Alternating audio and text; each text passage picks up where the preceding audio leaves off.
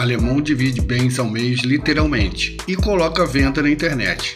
Essa matéria não é de agora, mas é um tanto quanto inusitada. O alemão Marte levou ao pé da letra a divisão dos bens. Ao terminar um relacionamento que durou 12 anos, ele dividiu os pertences ao meio e colocou a venda na internet.